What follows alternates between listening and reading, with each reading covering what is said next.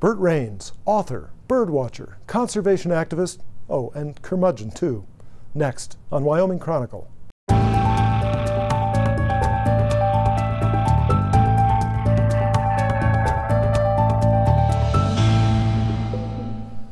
If you've read the long running columns by Bert Raynes in the Jackson Hole News, you know him as an observant birdwatcher, a campaigner for wildlife protection, and a poet in prose writing about the outdoors. He won the Rungius Award for Conservation along with Wallace Stegner and Mardy Murie, and with his late wife Meg, he set up a foundation to fund wildlife studies. Maybe you didn't know he was a city kid from New Jersey, or that he got a degree in chemical engineering and worked for a big corporation in Cleveland. Now in his 80s, Raynes is not as light of foot as he once was, but his mind is as nimble as ever. In this interview with Wyoming Chronicle's John Kerr, he talks about wildlife and his life. So, Bert Raynes, welcome Thank to you, Wyoming John. Chronicle, and thanks for joining us here Thank today. you, John, very much. I want to go right to the heart of it and learn how a city kid from Jersey City gets to Wyoming and wins the Rungius Award for, Converse, uh, for Conservation and joins Wallace Stegner and Mardy Murie and E.O. Wilson and the Craigheads and Jane Goodall. And how does that same kid get here and win the Wyoming Outdoor Hall of Fame Award with Teddy Roosevelt? And on and on. How did this happen, Bert? I think I can only answer the first part of your question, which was how did I get here? I read a lot of books when I was a kid, and I read about the West because I grew up in a very urbanized setting with no nature at all to speak of it. Uh, literally, literally true. And always wanted to see the West. Then I got lucky and I met my future wife, who was from a semi rural se- setting in Pennsylvania. And she showed me some of nature. And then I had that professor that changed my life, who told everybody who would listen at the time that natural resources are finite. Who was that professor? Uh, Black Mike Cannon, his name was. Where was he? Where was Penn he? State Uni- uh, College in those days. Penn State College. Penn State College. That's where you went. yeah. And what did he tell you? What did he teach you? He, that that there are natural resources, but there are limits to them. They will not last forever, Hmm. and we should all conserve and use the resources wisely. That had a big impact on all those things. Did. Did you ever tell him so? I went back. Actually, my wife was invited back to to Penn State,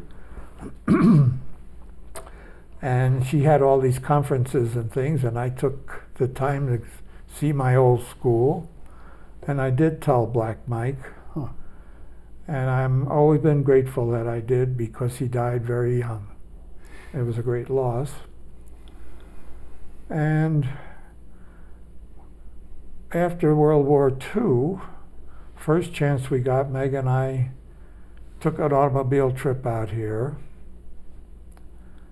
and went to Jackson Hole because I'd read about the Craigheads and read about the Muries and read about Jackson Hole. And we got enchanted. And that's how I came here. As for getting these awards, I have no idea. I think they were desperate. Well, the Rungius, let's be clear about that, from my point of view at least, the Rungius Award for Conservation. Nothing desperate about it. As I said, Wallace Stegner, Mardy Murie, E.O. Wilson, the Craigheads, Jane Goodall, and on and on. This award that's on the table right here, I'll spin it, is from the, the Heritage, the Wildlife Heritage Foundation of And it's to b- both Meg and me, which is why I'm very fond of it. Because lots of times, just the guy gets the credit or the woman gets the credit, not the person who's back in the background doing all the work. Well, one of the people who got this was Teddy Roosevelt. Speaking of guys, who Yeah. So you're joining some quite a he quite a wasn't crowd. too shabby. No, and neither are you, Bert. Um, talk to me a little bit about um, about Meg's influence in, in your life. You've lost Meg now, Yep. but um, Meg's with you every day and Yep. goes on. You're still partners in a sense. Tell me about that. Well, we met as students, freshmen in college, and uh, we didn't get along at first, and then we started to talk, and we never finished talking. Hmm. So her influence was constant. What was her influence? Uh, you've become a leader in conservation. Um, you're, you're modest about it. Um, you're uh, sometimes even grumpy about it, but you have. And and uh, what was her influence in all this? This is, by the way, a picture that you have in your house that you've let us of you and Meg. Tell us about it. Oh, that was in 73, and we had moved here permanently instead of coming out every year for several weeks.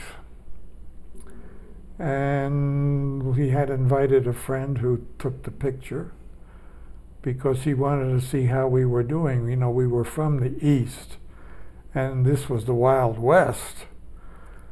And in uh, 1973, it was a lot different uh, than the society is now. We have fresh fruit now and fish come into markets, things like that. All kinds Almost civilized here. Take me back to. Um, you said you went to Penn State, Yeah. and where did you go then? What did you do then, Bert? How My first real job was in Schenectady, New York for the great General Electric Company Research Laboratory, where I was the baby of the laboratory. And the baby of the laboratory gets shown around the lab by the outgoing baby of the laboratory, so you get to meet some really wonderful people that you might not otherwise meet, really top figures in science. And uh, we went after five years. Uh, we went to Cleveland, Ohio, the outskirts of Cleveland, and I got hooked on research. So I worked for two small independent research companies, which gave me a chance to work in a variety of fields, which I enjoyed. What were those companies? Rand Development and uh, Horizons Incorporated. And at Rand, at Rand Development, what did you do? Well, I had been offered an opportunity to work on pollution control research if I could just get the finances for it. You know, I was given a position, go out and do something. And I was lucky. And also, I worked hard, but luck has had a lot to do with all these things. Um, worked on mostly water pollution control, trying to improve the existing processes or invent new ones. Now, I took a look at the, at the, at the website, and it says you were vice president for applied research and you worked in pollution abatement. Yeah. Um, you were in Ohio, in Cleveland. Yeah. What was going on with waterways and riverways and stuff like that there? You must have been right in the thick of it. The waters of our country had begun to stink, Hmm. and they've been cleaned up some in all these years. That was in the 60s. But there's still 40% of our waters are polluted to one extent or another. Lake Erie, in particular, in the fall, was getting so that the water supply for the whole Cleveland area was not potable. Hmm. You couldn't stand the smell or to drink it. And what did you do about that? Well, I didn't do very much about the Lake Erie thing, but I tried to improve sewage treatment plant costs and efficiencies. How? Well, in that particular one was um, better use and disposal of the sewage sludge that results from one of the major, the major water uh, sewage treatment processes in the country, uh, most of the world actually, by pipelining it to uh, away and using the material to reclaim strip mine areas and other areas that need fertilizer because So- it's a great fertilizer. So per, poop for purpose or poop for profit? I never had thought of that at that time. Too bad you didn't patent that. Uh, where were you when I needed you?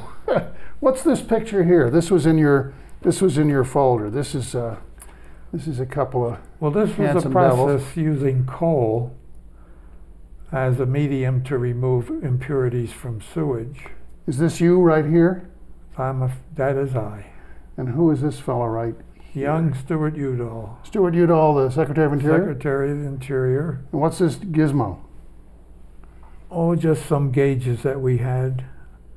I couldn't tell you precisely anymore what they are. What were you doing here? We were showing off uh, a filtering process that used coal that was on its way to be burned for energy to remove impurities from sewage Hmm.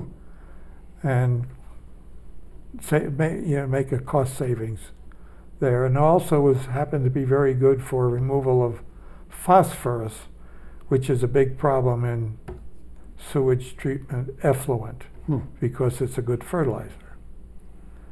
And you, the effluent goes into some receiving water, a stream or a lake, and if you have too many pollutants, too many goodies for things to grow that you don't want to grow, they'll grow. And so, let me get this straight. That sort of thing is what we were doing. You came from Jersey City, New Jersey. Yeah, You came west, but in the way west, you stopped at Penn State and you stopped at Union College. You stopped in Cleveland. I don't know what took me so long. I wasn't too bright.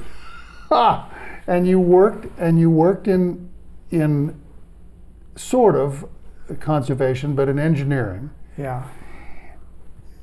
How did you go from there, Bert, to becoming uh, what I think of, and most of us in your newly adopted, so not your newly adopted state, you're here in the West, as one of the leading conservationists of our times. How did that happen? Well, I don't know that I can go along with that characterization. But I've been writing and talking about the need for pollution control, the need to retain some wildness in our lives. The once you learn about the uh, therapeutic value of a natural area with wild things in it. You can't take that out of your mind. And I've tried to teach other people that. And um some of it through bird watching. Uh, I've ruined a lot of lives and turned people into bird watchers.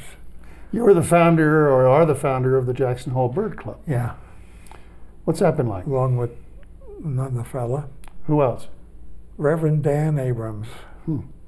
who uh, lives in Montana now. When you come into Jackson from the north, there's a, at the near the visitor center. There's a there's a place there where you can see the water birds and so forth. I noticed that it's called Bert's Walk. Is that after you? Yeah, it's me, a bird walk, yeah. A Bert Walk. And out on the National Refuge, there's two trees protected by a big fence that are planted in honor of Meg. Oh, how wonderful! Where are they? You can see them from the new, uh, the new, the uh, National Museum of Wildlife Art of the United States. There you go. It's uh, right adjacent to the path that the sleigh rides go Oh yeah. across Flat Creek to show people the elk in the wintertime. You're quite an author. Birds of Grand Teton, Valley So Sweet, Curmudgeon Chronicles, Winter Wings. Anything else? Finding the Birds of Jackson Hole. Quite an effort. Piece of cake. Piece of cake. but you've really, you've really influenced uh, so far a lot of lives, and you're influencing a lot right now.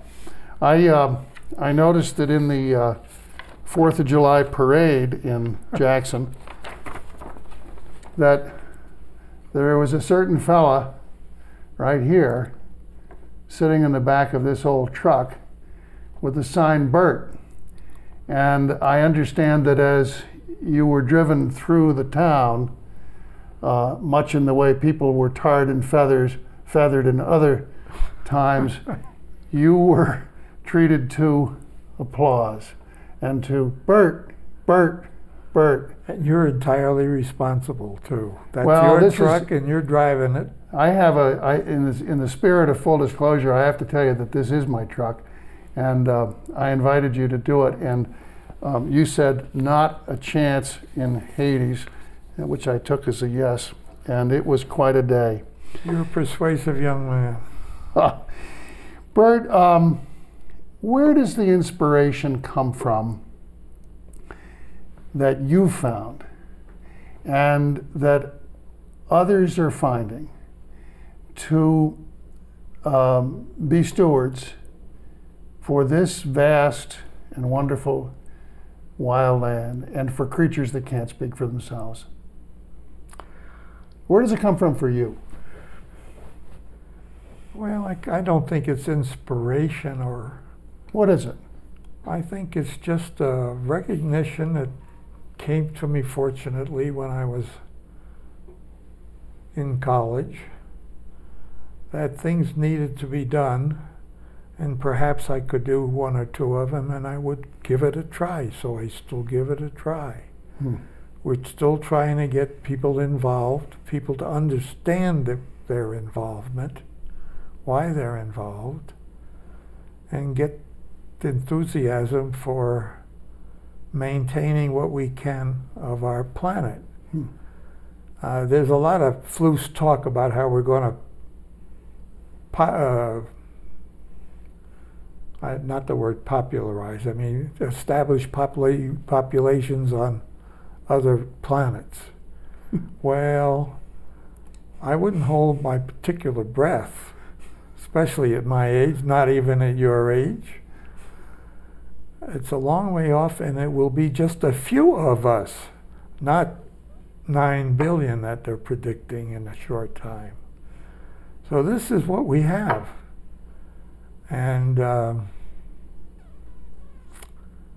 those astronaut boys, when they showed the picture of the Earth rise over the moon and that little blue dot, hmm you had to be impressed. Yeah. You do, and humble too. Awful thin layer that we're supported, we're dependent on around the Earth. If you're just joining us on Wyoming Chronicle, I'm speaking with Bert Raynes, who's a conservationist and columnist and self described curmudgeon, an outspoken and indefatigable teller of the truth as he sees it, and a defender of our planet. May I correct you? Okay? The, word, the title curmudgeon was given to me by the author, by the publisher of that book. Oh, it was. I would not have chosen that. But what about the title of SOB? I might have chosen SOB. Tell us about that. Well, I've always assumed that whenever anybody called me an SOB, they meant sweet old Bert. so I've gone with that. Well, sweet old Bert. Sweet old Bert. I don't know. So what keeps you going? What keeps the what keeps the gleam in your eye? You've got limited mobility now. Yeah. Um, you've lost your life partner. Yep. Um, you've spent some time thinking while looking at a hospital ceiling. Um, what keeps you going? What role do your friends play? What what keeps the spark in the, those eyes of yours? Well, we've been very lucky to have wonderful friends, and a lot of them, including you, sir. Thank you. Well, I'm honored to be your friend. Tell I'm me about the delighted. Bert Raynes, the, the the Meg and Bert Raynes Wildlife Fund. What's it about? Well, uh, we recognized, Meg and I, when we used to talk about these things, that the uh, government, the federal and state and local authorities have limited resources to measure and determine uh, the, the wildlife distribution and occurrence locally. There just aren't that many eyes. But if we could enlist all the citizens, the citizen science um, motive, to turn in their reports of what they see just outside their in their backyard or in the back country. And we could collate and make all those things available. The managers who have to manage wildlife the planners who have to plan our development and our traffic patterns and uh, transportation all those things. If they had more data they could perhaps we hope make better decisions. Hmm. And so we started this fund uh, to uh, ask people to turn in their observations. We started with one day when people were asked to tell us what moose they saw, where they saw it or them, and what the sexes were, which is reasonably easy with moose. And that seemed to be a big success. Game and fish people seem to enjoy having that additional data. And then we had uh, a five week program up the Gros Ventre Mountains to watch antelope, elk, bighorn sheep, wolves, mountain lion if they happen to come, and whatever came. And now we're, we're not doing this all on ourselves. We're doing this in partnership with other organizations like the Wildlife Foundation, um, with the Teton Science Schools, with the Game and Fish Department, with the Forest Department, U.S. Forest Service. How are how are how are young people, and how are some of the retired folks and others involved in this? Well, if they know how to use this newfangled computer stuff, we're trying to make it as simple as we can. And if they don't, will a piece of paperwork? Yeah, or even a telephone call. Hmm. Uh, So uh, I just want to get this straight. So, so, so what you've done is you have with your, with your own um, uh, savings, your own resources, funded um, this effort that is intended, as I'm understanding you, to um, give us a better idea of the wildlife and the natural features that surround us and sustain us. Am I right? Yeah, And that'll And- go on after your lifetime. I certainly, that's our intention, yes. Wow, what a contribution! Well, we've had a lot of help. And, How many people is it involved so far? well, the immediate folks on the advisors and so forth, is about seven, Hmm. mostly biologists. Core, core group. Core group. And then how many people total do you think have been mixed up in this so far? Well, I think they've trained, and I have to say they, because I'm not doing very much of the work, I'm afraid. Uh, 58 people who are regular. Hmm. We've had, for example, we have a pika project going in the valley and in the surrounding area, along with the Teton Science Schools. And uh, 150 sites were identified with GPSs and mapping Stuff. um, in the first two months. Wow. Now, this includes some sites that were known about, but we didn't have identified until. Well, and to say nothing of the thousands of people who read your weekly column in the paper. Um, time is running short on us, as it always does. Uh, I want to show one thing here. This is a pen that has Lyndon Johnson's signature on the outside of the box, maybe on the pen. What was this pen used for, Bert? We've only got a little time. It was one of those pens you see presidents signing their names on abruptly. Obama is doing it very carefully now. What was this for? Uh, he was signing bills that included some water pollution control money, That you were involved and I was involved in that, yeah. Wow. So you have taken your early life, your partnership with Meg, your time in an urban area, you've come west, and you have inspired thousands, maybe tens of thousands, and you're modest about it. You got the name Curmudgeon, you're sweet old bird, SOB, and looks to me like you're going to probably do some more damage before you're done. What's ahead for you? Oh, keep on keeping. Oh, I'm working on a couple of books, Really? and uh, You're going to cause some more trouble? oh, I hope so. I hope so too. I hope so. I love talking with you. Thank you for coming in and joining us on Wyoming Chronicle. Thank and you. good luck to you, and hats off to you. I checked out the website of the Meg and Bert Raynes Wildlife Fund and was pleased to find a project devoted to one of my favorite creatures, the pika, a small rodent you'll hear peeping among the boulders high in the Rockies. The project maps the location of pikas based on observations reported by people like you and me, so keep your eyes open. The people and stories we cover on Wyoming Chronicle are larger than we can fit into our half hour format. We hope we've just whet your appetite and you'll dig deeper, reading the books, listening to the music, and debating the issues that we cover here. If you want to go further down the path with interesting people like Bert Raynes, visit our website at wyomingpbs.org and go to the Wyoming Chronicle page. Make us a habit.